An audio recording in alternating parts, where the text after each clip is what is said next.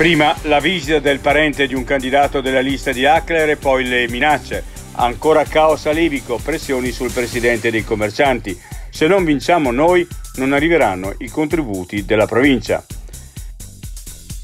Maxi rissa a Ravina, coinvolte una trentina di persone sul posto, si sono portate diverse volanti della polizia e pattuglie dei carabinieri.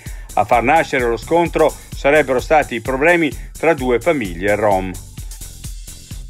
In Trentino Alto Adige il sistema sanitario più in salute d'Italia. La speranza di vita media arriva a quasi 84 anni. I dati dell'analisi condotta dall'Istituto Demoscopica.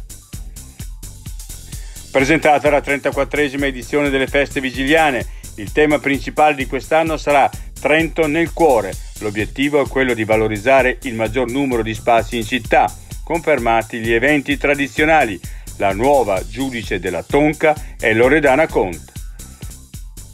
Non sa bene l'italiano ed ora rischia di essere espulso dall'ordine dei medici. Succede a Bolzano e protagonista della vicenda è Thomas Müller, dirigente del laboratorio centrale dell'ospedale San Maurizio.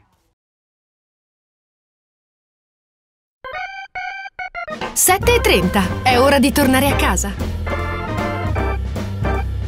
È ora di fare la dichiarazione dei redditi.